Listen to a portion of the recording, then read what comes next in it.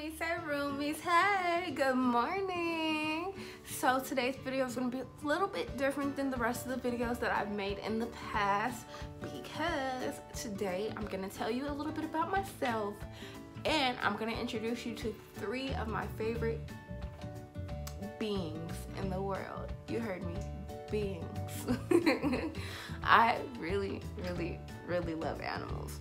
Like not on some cat lady like shit, but like I really, really love animals. Like one day when I'm rich, I feel like I'm going to have like a big ass mansion, but like somewhere on, in my acres, it's gonna be farmland. And on that farm are gonna be a bunch of exotic animals and shit that I like because I like all animals birds, fish, turtles, basically cats, dogs, cows, horses, goats, sheep, alpacas, everything you can think of, I love it. Like I'm literally probably one of the weirdest girls ever or one of the most awesome girls ever, period. Because I really, really, really love animals. Like you could take me on a date to go fishing and I'd be in heaven. Awesome or no? Okay, so let's get right into it. So we're gonna introduce you to the oldest member of my family named Michelangelo, my very first Ninja Turtle. This is Michael Angelo. Yeah, he um is now about four years old. I know he's still kind of small. They live for about 10 years. So he's almost reached half of his life expectancy. Um, I don't know, he's a very timid turtle. His little brother Raphael is a lot more excitable and a, a lot more friendly to being held whereas Michelangelo, as you can see, it's not even like getting out of his shell. It takes him a really, really long time. Even when I give them like floor time, he is just too scared. He's like too hesitant to go out into the world to venture out. But his brother pokes his head out and gets to running immediately. Like his brother greets me at the at the glass, okay? His brother be like, Mom, feed me. But I will say, about this guy because he is bigger than his little brother. He's a little bit more aggressive when it comes to like eating. So if you're thinking about getting turtles and you want more than one, I would suggest getting them both young together because if you get one and then a few years later, like I did, which was like a year later, I decided that I wanted to get Raphael because I just loved Michelangelo so much that I decided to get another one. Um, I didn't realize how much of a pain it would be, not for me, but for Raphael to have to fight to eat and how I would have to separate them until Raphael was old enough to fight back. But luckily for me, Raphael kind of, he is scratching at the tank trying to get to me, it's so cute. Um, but Raphael surprisingly was a really good fighter. Like he wasn't having that. I would like tap on the gate, like the gate, or I would tap on the glass. There we go. I can't speak. Sorry, I just got off work. But I would tap on the glass to try and tell him to meet me on another side of the tank so that I could feed him over there because this guy likes to step on people's backs and heads to get their food. But this is my Michelangelo. He is a red-eared slider. It's pretty big. It has a gorgeous, gorgeous, gorgeous, gorgeous shell. And if you do get turtles, the way that you can tell if you have a boy or a girl is this ridge right here.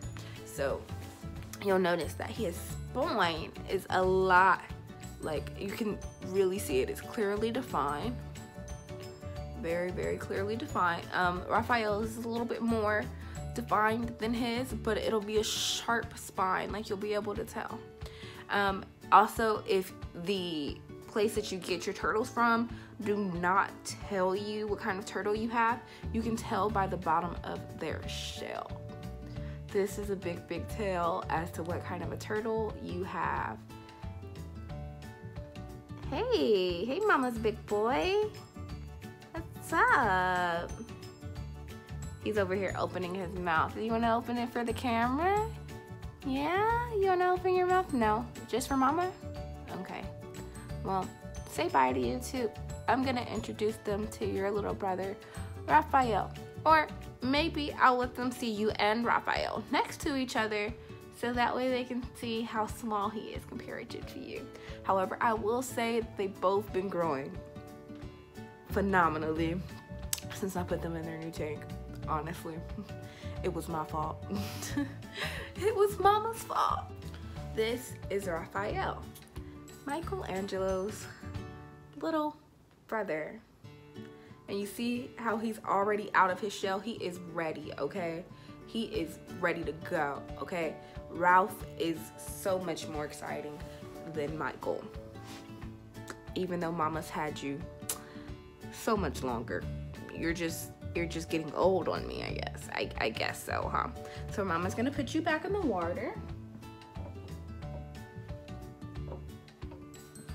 And we're gonna talk about Ralph. So, Ralph is also obviously a red-eared slider. Um, and as I was saying, his ridge on his back is so much more like defined than Michael, so it was so much easier to know that Ralph was a boy versus a girl. And he is so so cute. Uh, i like him a lot. Not saying that i don't like michael a lot but i really enjoy the fact that ralph is so much more social. Not just with me either but like with friends and family that come around. He gets to know them huh? Grandma loves the turtles. Like she'll hurt me if i hurt them seriously it's kind of scary, but it's the truth. But okay, back to Raphael. Raphael, even though he is smaller than Michelangelo, is actually a lot tougher than Michelangelo. Even though he's a little younger than him, he is a lot more comfortable around people. And He's a lot of personality. That's what I'll say. And the reason why I gave them Ninja Turtle names is not because I'm corny and they're turtles. But when I first got Michael, he was an escape artist. I don't care how I set his tank up. I don't care what size tank he had. That boy was getting out of that tank. And because of that, I gave him a ninja name because he was a ninja. I couldn't understand. Like, every time I'd put him in a new tank, he'd escape. And once I got Raphael, he'd just leave his brother. So I was like, I don't know what to do because I put you in a tank, you get out. You get out, put you back in. I don't know what to do. But that was Raphael. Now, moving on to Mama's little girl. So this is Mama's girl. This is Phoebe. It's gonna be really hard to do this video because she does not stay still. She does not like to be held at all. But this is Phoebe the hamster. My little Syrian hamster. Some people also call them teddy bears. They're us. Uh, oh, I'm trying to hold her so hard. They are super, super cute few facts about Phoebe. Her she has scent glands. Um, so if you're thinking about getting a hamster, it's very important that you know this because they do stink. They stink a lot, okay? A lot, a lot. And I've noticed that like when she gets nervous or she's scared or she doesn't feel comfortable, she will like that scent will come out a lot, okay? And it'll be all on your hands. It doesn't matter how many times you wash your hands. It'll it'll be on it's you. Okay? That scent is on you. Hey, hey, hey, hey, hey, hey, hey, hey, hey, hey. She just bit me. Stop it. Stop it. Oh, you're pooping. I need to let her go. she started pooping in my hands.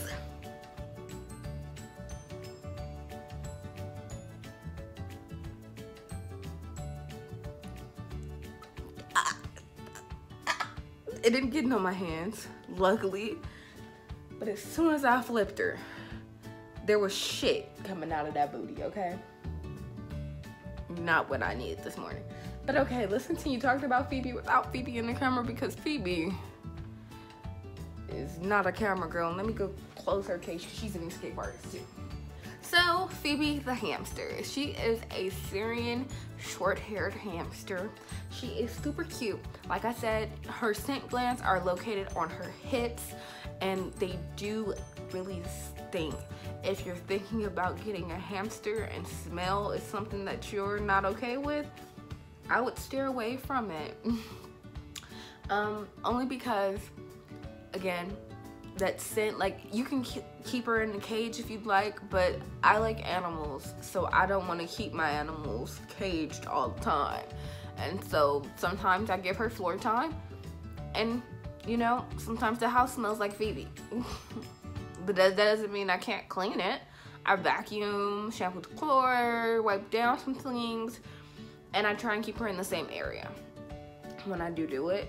So that way it's not the whole house. It might be like the living room area, might smell like maybe a little bit, then a vacuum, spray some spray. I'm good, pretty good. Burn some incense, pretty good, pretty good. um, but I also would like to note, like, don't if you are going to do like incense or sage, because I am a big sage bunny. um, I've noticed that when I burn sage in that house, she can smell it and she's acting like a little drowsy. So I would steer away from using it near like their cage if possible. Whenever I do burn sage, I try and make sure to avoid the area of the room where she is and to keep a fan or a window open so that it is ventilated and there's no problems there, you know? You know, you know, you know, you know, you know. But okay, so let's talk about food. My animals, feeding them. Ooh, so different. The turtles are super, super, super simple. At least for me. I um buy them feeder fish whenever they run out of feeder fish. And I give them a, a blend. Because they are big enough to be able to eat these pellets, I buy them these gourmet aquatic turtle pellets. I like these because it has a good blend. Like I like buying the mixes that have multiple different things to you know supplement their diet so they're not like eating the same thing all the time. Like I don't like eating the same thing. I'm sure you don't like eating the same thing. So why should they be forced to eat the same thing? Like when I had a cat, I did the same thing for her. She was so spoiled because mama did it. Okay, we was eating filet mignon and shit for dinner period. That's all she wanted to eat. She wouldn't go back to kibbles and bits. okay, so for them, I like this because it has mealworms, it has some shrimp, it has um, cherries, and then it also has those pellets that have like all the rest of the vitamins and stuff that they need, which is awesome. Thinking of which, time to feed the turtles.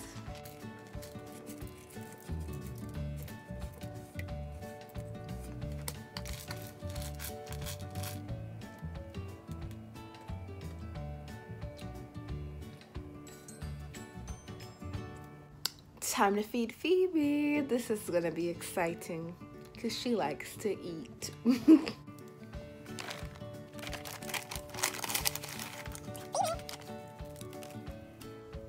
because she likes to forage in her natural habitat, instead of having a food dish, I basically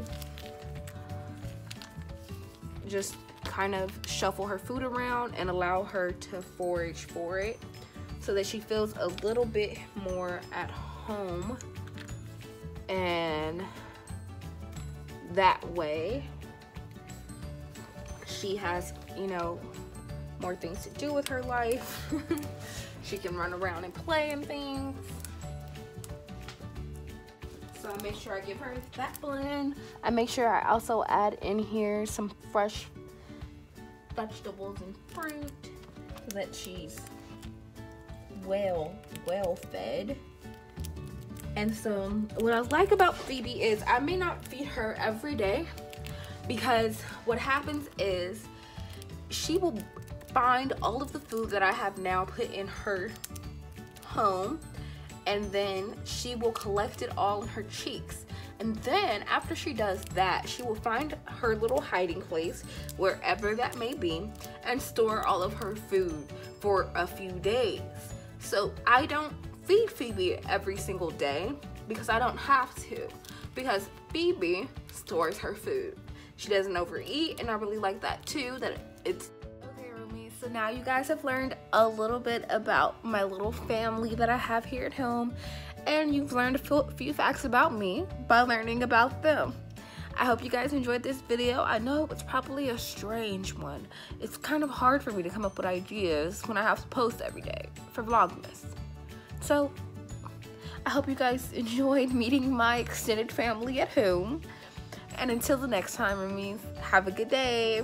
Oh, don't forget to like, comment, and subscribe and hit that notification bell so you're notified every time I upload a video. Tomorrow, I'll be teaching you guys how to make apple cinnamon pancakes because I am craving them and I mean food videos. I just do food videos. I don't know. I'm a I'm a food addict. I mean I had to get all this gut from somewhere. Damn! And this damn chin. See you guys next time. Till we do it all again.